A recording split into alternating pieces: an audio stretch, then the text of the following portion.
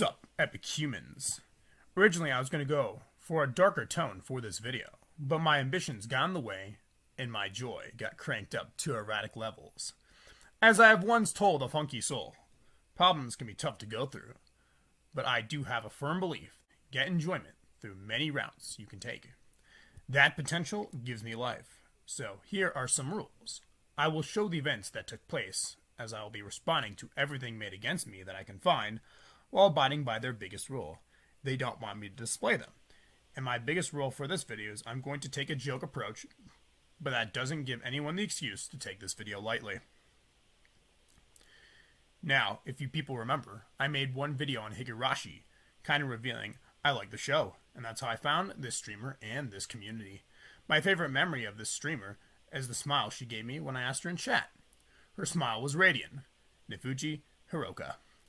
I was her fan for about a half a year, and my participation in a couple of her events wasn't good for my reputation in that server. Five months ago, the streamer herself went after this guy on Twitter, and when I saw it, it took me a while to figure it out, but I eventually decided to agree with her. What's wrong, you may ask? I mistyped. A lot of people who read what I type can find an error in it, and since I am a person who likes to go fast in my life, it shows I have no motivation to fix it unless the typo alters the meaning. And in this case, I forgot a word, which altered the message, made me look like I was agreeing with who she was condemning. The wind is troubled today. Narumi Momose. Because most people that make posts on their internet ignore the fans, but this streamer, like me, has ADHD, which I found super relatable, by the way, has reacted in a way that lives up to her title. She casted me out of her life. But not just that. She made a tweet stating I supported uh, the person she was condemning, convincing her followers I'm so, some sort of lunatic, like I'm crazy. How did I react? So, you know, I think if you guys seen what I've done in the past, I'm a person who likes talking and debating with other people. And guess what I did here? I made a peace tweet, and I saved my reply for her in case some of her fans wanted to scold me personally. I also deleted my comments off of her YouTube channel. I knew trying to talk to her based off of what she said about me would bring negative memories. Also, no one came after me, so yeah. Everything seemed to be fine. So, you know, the logic is here.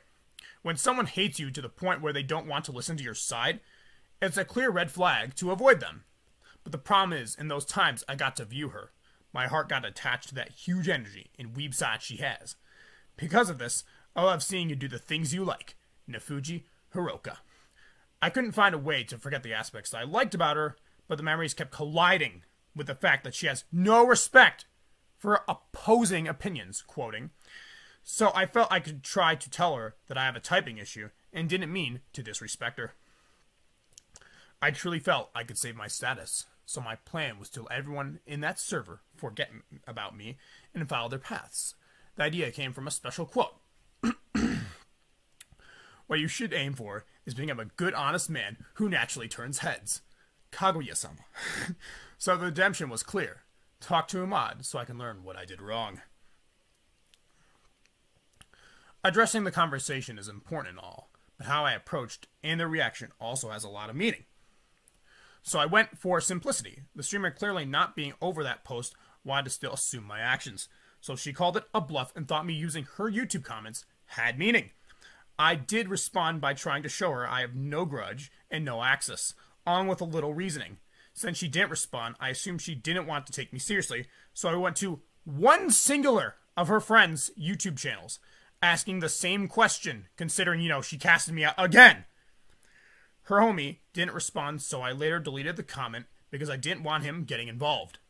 Yes, I have respect. I do not mean any harm if all I want to do is talk. These actions did work, as her head mod did really want to use his occupational skills to get me to stop asking for him. And you know, it only took twice, so you know, nothing too deep. Okay, understand this. So here's how the conversation went. He starts off telling me that they made that decision as a group, and he does tell me it's the streamer's decision a ton. But the issue I found is if I hadn't mistyped, would I have been still scolded and misinterpreted. But due to my surprise, I got a chance to talk about everything. He gave me a list to atone for in that server, and it was at that point did I realize it was not about fixing my mistype anymore. They genuinely kept grudges against me. Before I decipher why I think the moderator is wrong for what he did, I love addressing the good aspects about him. First, he put together messages that were understandable and made me focus on what was wrong. And this guy does have heart, as he did realize he can't hold it against me if I did change. Before we talk about what he's holding against me for, I think it's fair to say that if these issues they claim are so valid, then how come they can't ever find me being upset about any of my concerns? How come they can't find me repeating the mistake they are calling me out for? So Kaguya-sama's next quote applies here. One of the most hurtful things in the world is when your mistake gets more attention than your success. Especially when I successfully followed these updated rules. Because, you know, they didn't have these rules when I made the mistakes. But, you know, now they updated their rules, they have more rules. So, yeah, I did follow these updated rules for like a half a year, or whatever the time frame was. so, starting off with the Among Us community night, which was a fun, and I am glad everyone in the server can admit that as what I said to get this held against me, I think it's unfair to say I was mean to several of our friends, because most of the time I was passive, defensive, and just using the chat wheel to have my own fun. But given that scenario with one of the streamer's personal friends, I did think she was a crewmate at the time. If I remember, she wasn't even near me, so my natural reaction was to think she was randomly accusing me. Like, think of a court case, okay? You don't even know a person and then you get randomly accused. Like think that's kind of what I went off with, and it was I'm just saying it, it was a bad idea. and once I realized she was playing the game right, I did say this. Oh, I'll go flying high, boy. So all in all, I did feel bad because it did make me feel that it limits what someone can say in chat. That being said, the second that second time I did not mean that as a slogan of hers as an insult. I was just trying to make the situation sound more silly something I just naturally enjoy. I feel the best way to improve myself is to have lines prepared next time. Okay. Another great thing was my typo that got me banned in the first place. That was in fact forgiven, and the moderator was, you know, the moderator was happy about it. So in the heart of many, I think they can forgive me on the main issue that I came them for. And out of all the messages the moderator brought up, this is by far the best and most inspirational. But I need to address the two huge issues that escalated. The first is the aspect of me harassing the streamer, which, you know, it's quote harassment. I did not do that! Her reply was an indication I need to ask the same thing with one of her friends, or else I would have been neglected for who knows how long. The streamer literally forces my hand, and the moderator wants to shame me for it. I'm just curious on why they think going to her YouTube was bad, considering it's just another platform. But based on her one reply, do you think a Twitch appeal would have been enough? This leads me into my next issue the mod has with me. He thinks questions are just a form of disrespect every time. He thinks me trying to get their attention on multiple platforms is embarrassing to her, as if she being lied about wasn't embarrassing already. He thought my reply to her was pleading. I was just trying to show her I didn't hate or hold a grudge against her for lying or banning me. He also says I'm trying to appeal to mods and manipulate them. I guess I can see how he came to that conclusion. But since I asked a vague question, he can't understand that I was just wanting to fix my mistake. So, if anything, him pointing out my mistakes did the opposite. It was a possibility I was expecting, which is how I had an answer for it all. Also, showing I had no plans to appeal to them or manipulate them. And all of my discussions relying on confusion only hurts me and makes me look cheap. Can I say I even get a point across when I'm attempting this tactic? Especially if my posers has the capabilities to see through it, then I am well aware that it is freaking pointless. So now I'm telling you people today that manipulation will always fail. There's one more issue that ultimately decided for him to shut me out, like the streamer. But first, we need to talk about his cognitive functions. When he told me all the issues I did, and if I were to have any chance to solve these issues, I needed to prove him wrong which everyone has a right to do. Given my experience with discussions already, one thing I am certain of is the other side eventually messing up and me calling them out. So I told them flat out my goal was no longer to fix my typo and come back into her community, but instead to try to show her that I'm not the same person I was in 2021. So considering they all held grudges, I wanted to tell him flat out that I'm not careless in my actions and some guy will stay in the swamp of pain for very long. So now the mod wanted to hold me accountable for what I did the day after her community night, which was to use her community night stream and make it into a public video for a funny memory and exchange between all of us. This is where the B was very prominent, and the discussion could go either way. So he starts off telling me I should have apologized to several of her friends I was rude to, considering I was only ever rude to that one friend, which I understand. I'm, and since he finally decided to ask me directly, that one friend, because I can't say their name, I am sorry that I called you brainless. I meant to say your poker face was a little bad. So your gamer tactics of using me was smart because you got me to look toxic in front of everyone to get me out of the game. And that is what I addressed right here. Where I'm going to show it again. I'll go flying high, boy. So now we finally get into our main conflict, which was wrong to ask questions about allowing a video upload.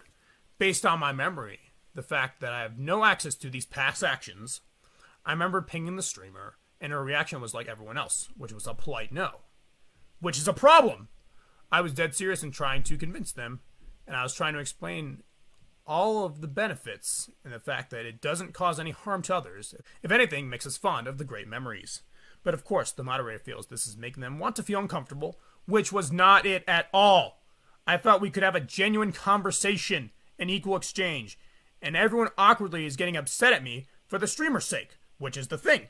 The streamer left after the start and returned when everyone started getting angry with me. My exchange with her community was a big misunderstanding. They felt I was upset when I was denied, which is false. I wanted them to hear my side before making a decision.